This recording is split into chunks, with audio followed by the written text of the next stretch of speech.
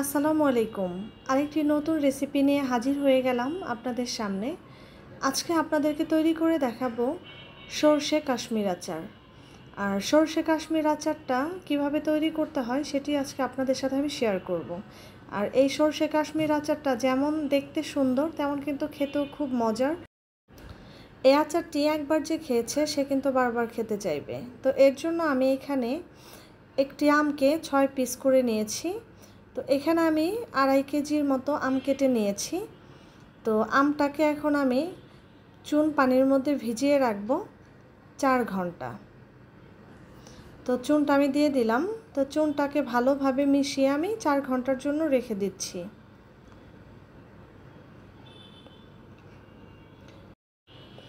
তো চার ঘণ্টা পর এখন আমি আমগুলাকে ধুয়ে নেব ভালো করে। ধুয়ে আমি আমটাকে রোদ্রে শুকা দিব এক ঘণ্টা। তো আমি এক ঘণ্টার মতো রোদ্রে শুকিয়ে নিয়েছি। তো এখন আমি আচার বানাতে চলে যাব।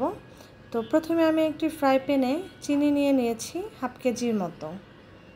তো হাফ কেজি চিনিটাকে আমি গলিয়ে এ ধরনের কালার করে নিয়েছি। আর চিনিটা আপনারা সবাই জানেন যে চিনির ক্যারামেল কীভাবে তৈরি করতে হয়। তো চিনিটার আমি কালার করে নিয়েছি। আর এই চিনির কালারটাই কিন্তু আচারের মধ্যে একটা সুন্দর কালার এনে দিবে। এখন দিয়ে দিলাম আমি চার পাঁচটা তেজপাতা, দিয়ে দিলাম তিনটা শুকনা মরিচ। এখন নেড়ে চেড়ে ভালো করে মিশিয়ে নেব। তো এর মাঝে এখন আমি আমগুলা দিয়ে দিচ্ছি। তো সবগুলো আম আমার দিয়ে দেওয়া হয়ে গিয়েছে।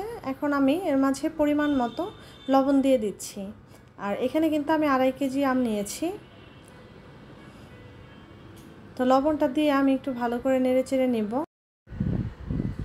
আর আমের সিজনে কিন্তু আমের আচারটা না দিলেই না। আর আমের আচার খেতে কিন্তু সবাই পছন্দ করে। আমার মনে হয় না যে কেউ অপছন্দ করে। তার মধ্যে এই ধরনের করে আচার যদি দেওয়া যায়, তাহলে সবাই পছন্দ করবে এবং সবাই প্রশংসাও করবে। তা আমি ভালো করে নেড়ে চেড়ে নিচ্ছি।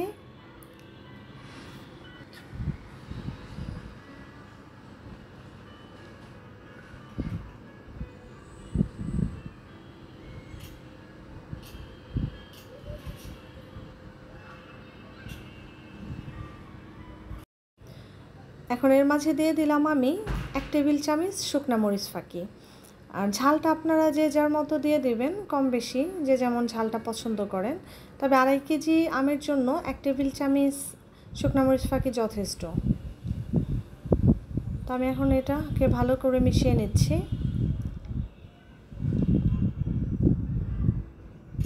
দেখতেই পাচ্ছেন, আমার কালারটা কিন্তু খুব সুন্দর হয়ে গিয়েছে এখনই।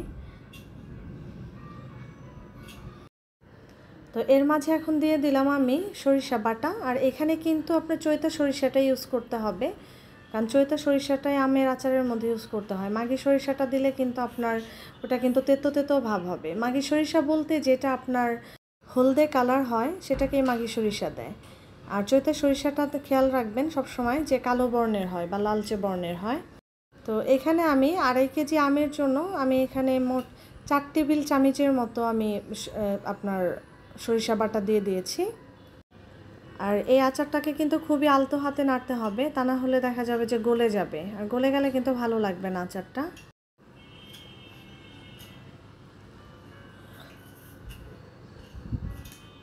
তো এর মাঝে এখন আমি দিয়ে দিব ভিনেগার বা সিরকা, যেটাই বলেন।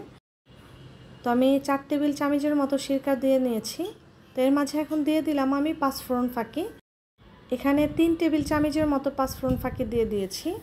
তা এখন আমি আবার আলতো হাতে নেড়ে নিচ্ছি। আমি প্রথমেই বলেছি, এই আলচারটি কিন্তু খেতে খুবই সুস্বাদ এবং দেখতেও যেমন সুন্দর, কালারফুল, খেতেও তেমনি মজার। অবশ্যই ট্রাই করবেন একবার হলেও এই রেসিপিটা দেখে।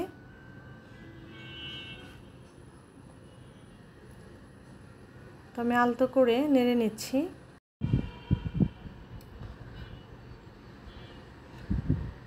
তো আচারটা আমি একটু একটু করে নেড়ে নিচ্ছি যেন নিচে লেগে না যায়। আর এই সময় কিন্তু চুলার আঁচটা মিডিয়ামের থেকেও কম থাকবে। কারণ আচারটা যখন আপনার আচারের যে শিরাটা, সেটা যখন ঘন হয়ে আসে, তখন কিন্তু লেগে যাওয়ার সম্ভাবনাটা খুব বেশি থাকে। আর এই সময়টায় চুলার আঁচটা কমিয়ে রাখতে হয় যেন নিচে লেগে না যায়। তা আমি একটু মিষ্টিটা চেক করে নিচ্ছি। তো চিনিটা একটু কম হয়েছে, তো এখানে আমি আবারও চার পাঁচ কাপের মতো চিনি দিয়ে নিলাম।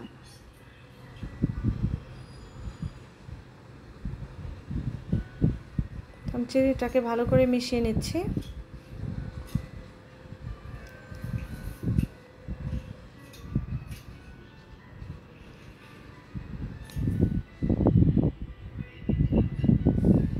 আমি আবারও আলতো করে নেড়ে নিচ্ছি। দেখতেই পাচ্ছেন যে আমি কীভাবে নেড়ে নিচ্ছি। এই সময়টা এইভাবেই নেড়ে দিতে হবে। তা নাহলে কিন্তু আমগুলো দেখা যাবে যে গলে যাবে।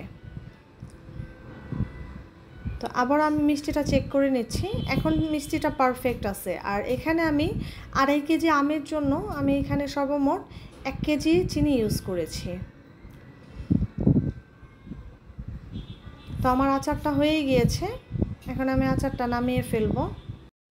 তো আমি আচারটা ঠান্ডা করে কাচের বয়মে ভরে নিয়েছি। তো এই তো আমার আচারটা হয়ে গিয়েছে, সর্ষে, কাশ্মীর আচার। তো আমার এই রেসিপিটা যদি আপনাদের ভালো লাগে এবং কাজে আসে, অবশ্যই আমার চ্যানেলটি সাবস্ক্রাইব করবেন। লাইক কমেন্ট শেয়ার করতে ভুলবেন না যেন। আর আমার এই রেসিপিটা দেখে যদি কেউ তৈরি করেন, কেমন হলো অবশ্যই কমেন্টের মাধ্যমে আমাকে জানাবেন। সবাই ভালো থাকবেন, ধন্যবাদ।